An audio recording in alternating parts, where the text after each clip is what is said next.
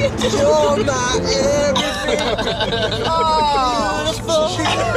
That's what you are. Oh yeah.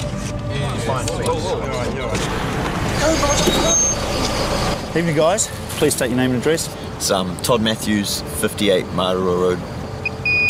That's a pass result. However, I now require you to accompany me to the police station or other such place for the purposes of a compulsory impairment test, blood test, mean? or both. What does that mean?